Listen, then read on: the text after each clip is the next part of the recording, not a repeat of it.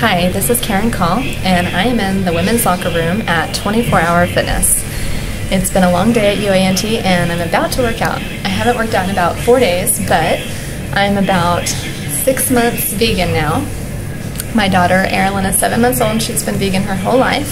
So I just wanted to show you what I look like, and I'm also going to post some before I was vegetarian photos. I was 165 pounds.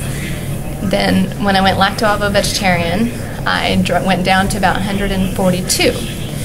Then after becoming vegan, I'm now about 131. So, and actually I've been around 128 even. Um, and it's not something that I'm trying to go for, it's just, you know, what happens when you cut out a lot of saturated fats. so anyway, I'm, without further ado, before I work out, this is what I look like, and then I'll probably show what I look like after I work out all sweaty.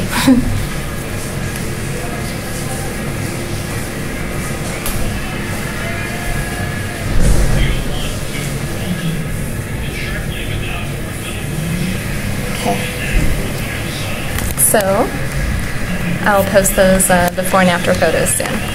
Bye.